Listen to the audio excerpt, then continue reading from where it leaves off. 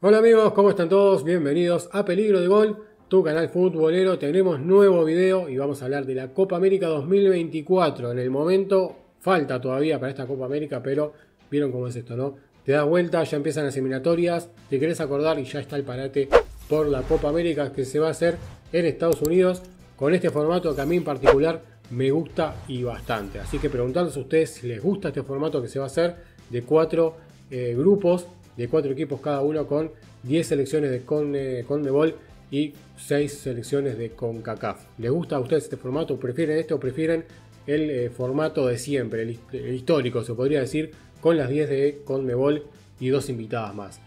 A mí la verdad me gusta más este formato que se va a hacer. Cuatro grupos de cuatro equipos y con seis selecciones de CONCACAF que no llegan regaladas. No señor, no llegan porque sí. Se van a tener que clasificar jugando la Liga de las Confederaciones o algo por el estilo que le llaman allí en eh, Norteamérica del lado de la CONCACAF. Así que me parece bastante interesante que las selecciones estas se tengan que clasificar para jugar la Copa América. Bueno, las selecciones de CONMEBOL no se van a tener que clasificar porque si no, no queda nadie. Pero me parece muy interesante. Así que los leo a ustedes ahí en los comentarios si les gusta este formato o prefieren el clásico con las 10 de CONMEBOL y las dos invitadas que en su momento fueron Qatar, Japón y cualquier otra cosa que no ha tenido absolutamente nada que ver. Creo que este formato está bastante bueno y creo que incluir a las selecciones de CONCACAF es, es exactamente lo que tiene que pasar.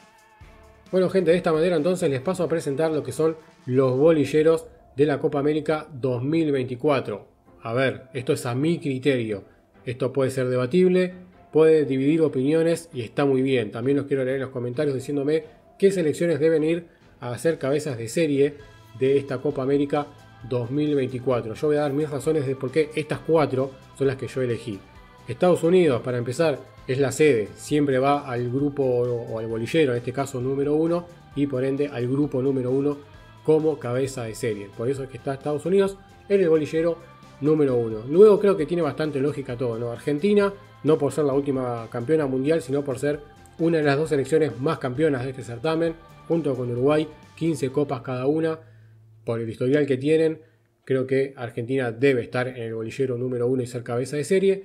Brasil también es la tercera selección más ganadora de este certamen. Eh, también, además, Brasil todo su historial y además de los campeonatos del mundo, etcétera, etcétera. Creo que también, por jerarquía, debe ser una de las cabezas de series de esta Copa América. Y así como Argentina, también Uruguay, por ser de las más, eh, de las más ganadoras y también por un tema nivel, historial, jerarquía y demás, creo que la Celeste también tiene que ser cabeza de serie de esta Copa América 2024 que se viene. En el bolillero número 2, y acá puede empezar la controversia y aquí puede empezar la división de opiniones. Y está muy bien y me gustaría leerlos realmente para ver qué opinan, ya que aquí estuve pensando bastante y hasta por momentos me discuto conmigo mismo de que si esto debería ser así. En el bolillero número 2, en teoría están las elecciones con, luego del bolillero número 1, las de mejor jerarquía en base a bolillero 3 y bolillero número 4. Aquí puse Ecuador, Perú, Colombia y México, como, como pueden ver. Creo que Ecuador está por encima de las selecciones que vienen. Y ahí empieza un poco mi dilema. Creo que Colombia ahí viene también medio que trastabillando bastante. Lo mismo Perú y México. Lo de México me hace lo que pensar porque yo dudo de que México sea más que Chile, mismo más que Paraguay y mismo más que Canadá que en la última eliminatoria este, la selección canadiense terminó mejor ubicada. Pero creo yo que para dividir un poco y para ser un poco más mixto puse ahí más a México, que quizás, como digo, sea más del nivel de Chile, Paraguay, Canadá y mismo Costa Rica, ¿por qué no? Eh, ahí tenía conmigo mismo ahí una opinión dividida, pero decidí entonces mezclar un poquito y poner a México. Acá me gustaría que ustedes me digan realmente qué opinan yo no sé, como digo, si México es más que Chile, Paraguay, Canadá, mismo que Costa Rica, creo que están más o menos todo mismo nivel. Pero por historial quizá y por dividir un poquito y hacer un poquito de ensalada, puse a México en el bolillero número 2. Esa es mi razón y esa es la verdad. Bolillero número 3, Chile, Paraguay, Canadá y Costa Rica. Eh, creo que bueno, creo que en el bolillero número 3 están bien puestas estas eh, selecciones. También se podría discutir si Chile con Perú, con Colombia, creo que vienen ahí más o menos también. Paraguay creo que venía bastante baja y creo que en el bolillero 3 está bastante bien, creo en el momento, en el momento actual de Paraguay, sin querer ofender, una buena selección la paraguaya, pero que últimamente viene bastante floja. hablando de eliminatorias sudamericanas. Canadá ha hecho una buena eliminatoria, claramente clasificó al Mundial y últimamente viene este, demostrando algunas cositas. Creo, que el bolillero número 3 también le sienta bien. Lo mismo que a Costa Rica, que tiene sus momentos y creo que em, yo no sé si Costa Rica es más que Venezuela, pero eh, también un poquito ahí por hacer un poquito de ensalada puse a los ticos en el 3 y a la vino tinto en el bolillero número 4 junto con Bolivia, con Jamaica y con Panamá que hacen Jamaica y Panamá en, este, en esta supuesta Copa América. Bueno, según el ranking, el último, lo, último que se ha dado en CONCACAF, Jamaica y Panamá estarían clasificando en teoría a, la siguiente Copa América. Vamos a ver qué pasa en esa Copa de Confederaciones, como sea que se llame, para ver quién termina clasificando. Pero en el día de hoy serían Panamá y Jamaica. Bolivia y Venezuela, bueno, vamos a hablar de Bolivia, que es de lo peorcito de Sudamérica, otra vez sin querer ofender, pero siempre terminan quedando últimas eliminatorias y otra vara de medición mucho no hay, en Copa América tampoco le va muy bien, así que creo que el bolillero 4 le va bien. Como digo, Venezuela podría estar peleando el puesto ahí con el bolillero número 3 entre Costa Rica y Venezuela, podría haber ahí ¿no? una disputa, pero creo que para dividir un poquito también lo que son las elecciones de CONCACAF y CONMEBOL, creo que por ahí podría ir. En cuanto a nivel, creo que también este, bueno, Venezuela pintaba para algo más pero se terminó quedando y volviendo un poco a ser la Venezuela de antes, cosa que me disgusta ahí bastante. Así que bueno, esos son los bolilleros, los leo en los comentarios a ver qué opinan. Ahora lo que vamos a hacer es este, el sorteo. Vamos a simular un sorteo por medio de una página que tenemos por acá, donde vamos a hacer los grupos, vamos a simular los grupos de lo que sería esta Copa América. Vamos a ir en la selección que salga ahora va a ir al grupo número 2, ya que el grupo número 1, vamos a mostrarles acá, el grupo número 1 ya es cabeza de serie Estados Unidos, como dijimos antes está predeterminado, por eso no aparece en la ruleta tampoco. Vamos a ir al grupo número 2, luego el 3 y luego al número 4, luego pasamos de bolillero. Así que vamos arriba ahí. Si les gusta este video, gente, si les está gustando, ese tremendo like ayuda muchísimo. Suscríbanse, importantísimo activar la campanita para que YouTube te avise cuando hay nuevo video, ya que vamos a seguir con más fútbol hablando como siempre. Y se viene la Copa América y estamos preparando ahí algún contenido con invitados y demás. Así que ojito ahí que puede estar este, aquel youtuber que te gusta a vos pasándose por este canal también, ¿por qué no? Así que vamos a ver ahora qué nos depara este sorteo. La selección que salga va a ir a ser cabeza de serie del grupo número 2 y va a ser la selección uruguaya. Uruguay nomás entonces va a ir a ser cabeza de serie al grupo número 2 ya vamos a ir entonces actualizando los grupos. Intentar hacerlo lo más ágil posible.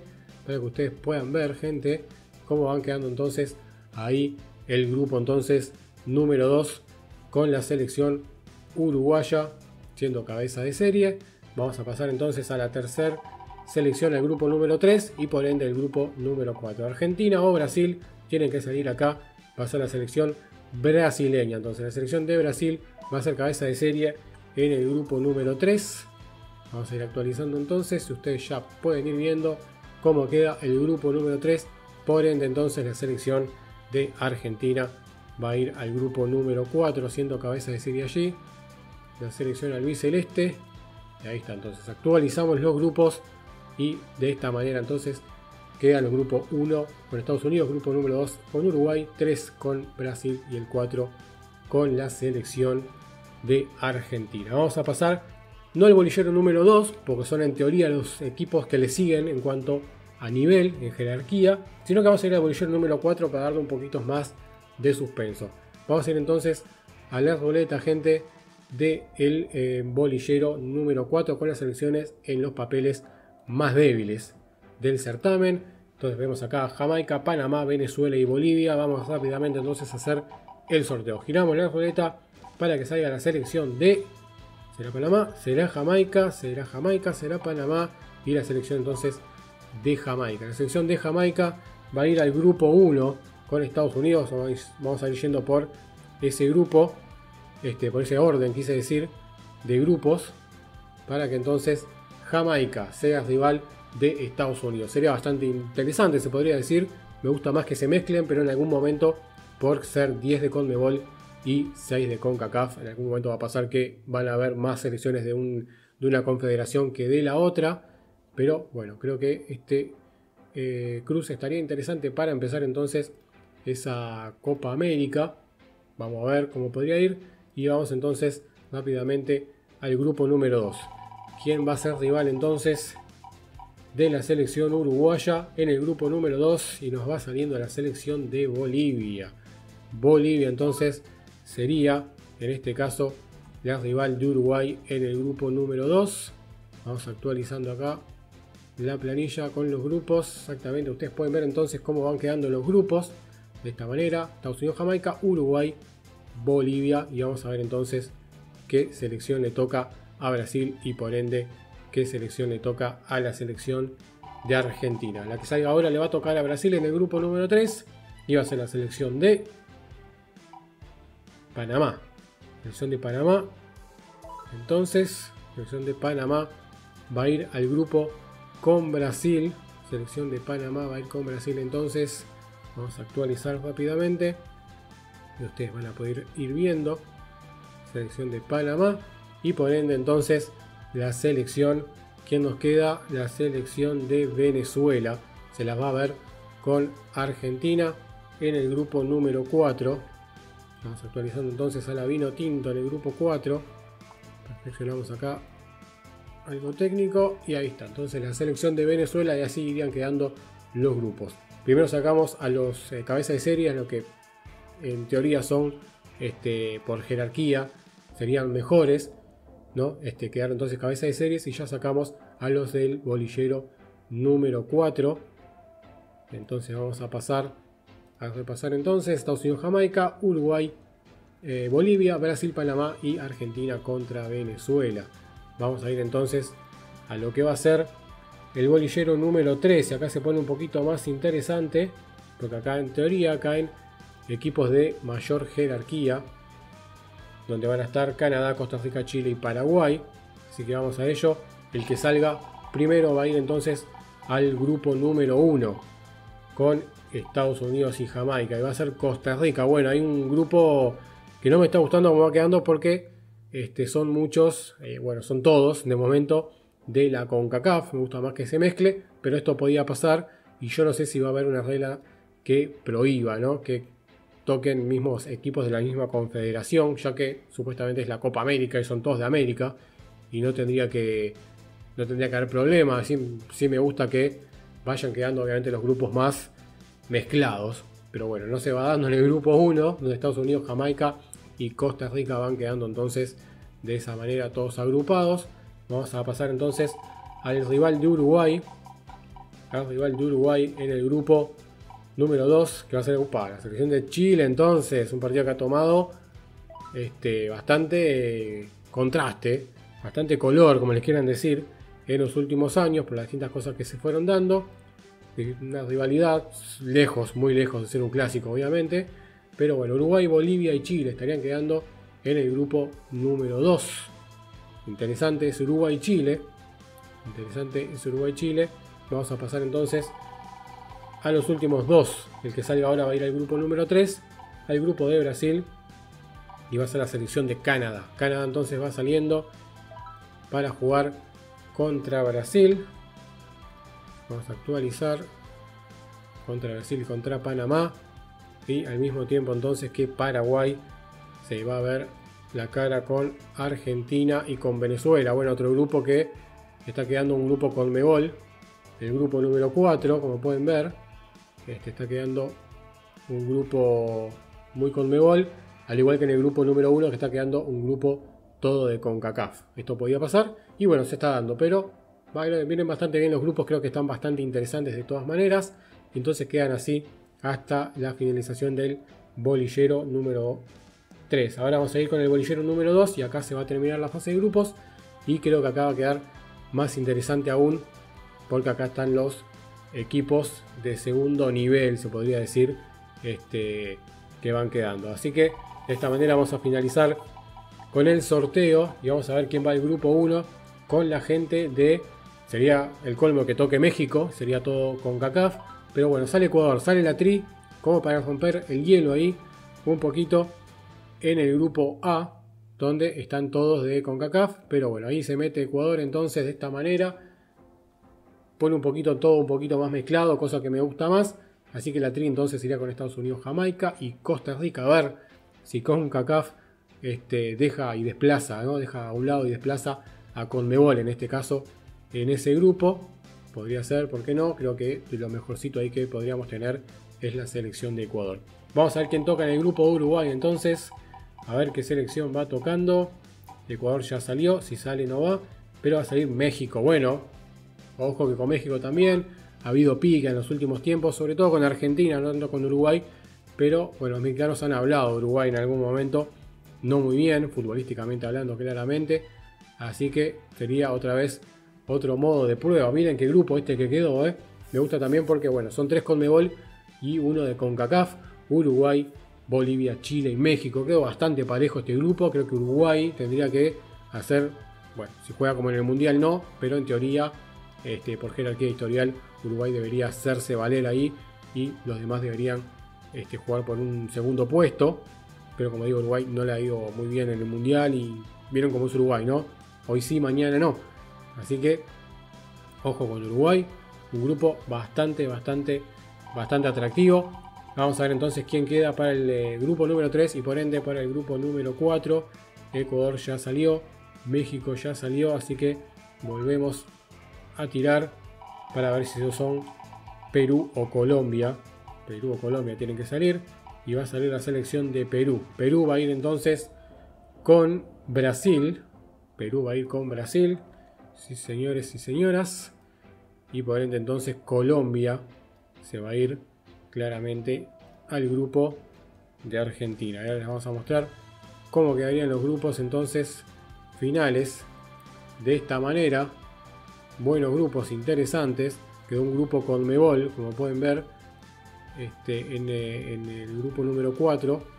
Un grupo con Mebol. Pero bueno, esto podía pasar siendo que son 10 equipos de CONMEBOL y 6 de CONCACAF. En el grupo número 1 entonces están Estados Unidos, Jamaica, Costa Rica y Ecuador. Buen grupo, interesante. Grupo número 2 para Uruguay, Bolivia, Chile y México. Interesantísimo el grupo número 2. En el grupo número 3 Brasil, Panamá, Canadá y Perú. Algo desnivelado quizás, pero estaría interesante también ver ese Perú-Canadá, a ver cómo podría darse. Y en el grupo número 4 Argentina, Venezuela, Paraguay y Colombia. Si me preguntan a mí, el grupo de la muerte es el grupo, mm, el grupo número 2, me parece, con Uruguay, Bolivia, Chile y México. Interesante, díganme ustedes cuál sería el grupo de la muerte eh, según este sorteo ¿no? que se podría dar. Vamos a ver si las reglas dicen, si las reglas dicen de que no se pueden mezclar tal y tal eh, equipo por ser de la confederación que sean y todo eso. Vamos a ver, yo no creo, porque sí, es una Copa América, justamente son todos de América y esto no debería pasar. Así que nada amigos, ese sería el sorteo. Vamos a repasar así nomás entonces los grupos, cómo estarían quedando. Bastante interesantes, como dije, para mí el grupo 2 sería el grupo de la muerte. Los leo a ustedes en los eh, comentarios a ver qué opinan. Si les gustó este video, dejen ese tremendo like que ayuda muchísimo. Suscríbanse para seguir creciendo también, para ser parte de esta comunidad y activen la campanita para no perderse de absolutamente nada. Yo me paso a despedir, nos estamos viendo en la próxima. Vamos que vamos. Chao, chao.